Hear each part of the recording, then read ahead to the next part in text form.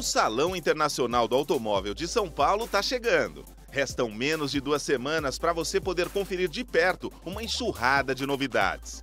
E nessa trigésima edição, um dos destaques será esse cara, o Audi A8. Simplesmente o primeiro carro de produção em série no mundo equipado com sistema de condução autônoma nível 3.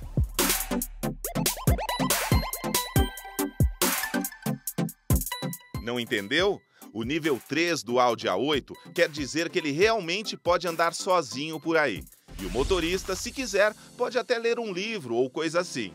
Batizado de Audi AI, o sistema autônomo pode ter o total controle da direção em velocidades de até 60 km por hora.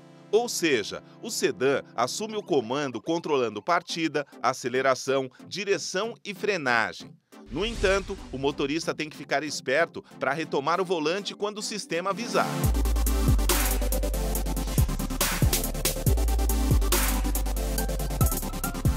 Mas se caso o dono queira desfrutar dessa barca alemã no assento oficial de motorista, terá debaixo do capô desde um motor V6 3.0 TSI de 340 cavalos a um gigante W12 6.0 com potência acima dos 500 cavalos.